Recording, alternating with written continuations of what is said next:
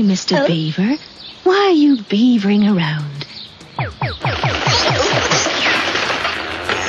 Haven't you heard of Cadbury's Caramel? See as the thick Cadbury's milk chocolate melts with that dreamy caramel.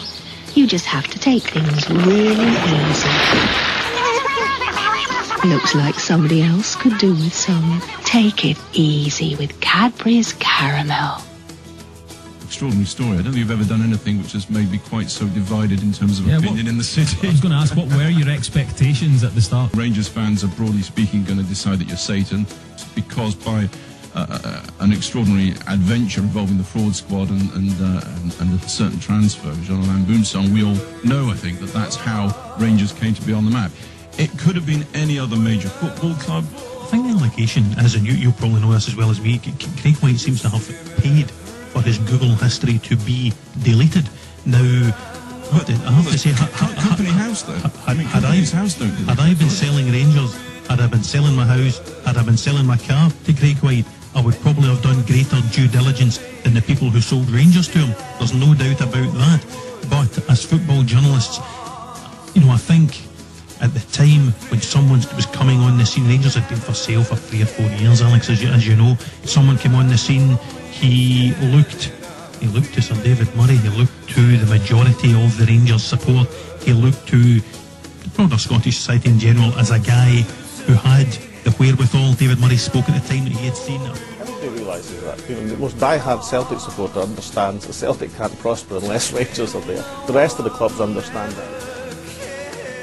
I want that club to survive and to thrive. It has an extraordinary history, it has a very special place in many people's hearts in, in Scotland, and, and no one wants to see, well, I certainly don't want to see that, that club uh, disappear. So I hope that HMRC will work as closely as they can with the administrators to try and solve the problems, to try and resolve the issues, so that we can see Rangers uh, going. Rangers will never go bust. What makes you so sure? Because the bottom line is the big house must stay open. I did not say Rangers would go bust I know at he these didn't court. say. He nodded his head in agreement. But it then said I did not say Rangers would go bust. Look, well, here's, Wait a minute, the, I never the question. Wait, Jim, here's Jim, the question, Jim, Chick. Jim, It's listen very to me. simple. No, I no. never said at any point Here's the Rangers question. would go bust. He said Rangers could go bust. There's a big, exactly. big difference. You You are said- now saying would go bust. You said Alastair Johnston admitted Rangers could go bust. That's your intro. He said, I did not say that. That's his direct quote. in No, he didn't say. He nodded his head So, in okay, then the the question question now is, about it. the question now is, are you calling Alastair Johnston a liar? I'm calling people who, who's... Are you calling him a liar when he says, I did not say Rangers could go no, bust? no, I'm not going to lie because he nodded his head in agreement to Like shit, I'm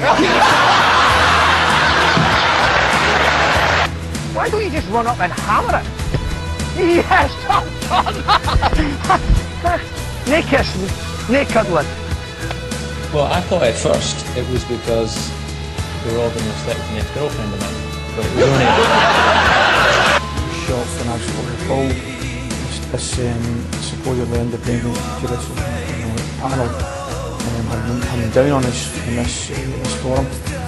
Um, it's another interesting thing, you know, who, who are these people? You know, I, I want to know who these people are. I'm a Rangers supporter. The Rangers supporters and the Scottish public deserve to know who these people are, who are working for the SFA. As crazy as it may seem, um, I'm as positive today as it's been a long, long time. Um, our club, as I- I've said to you before, guys, has been.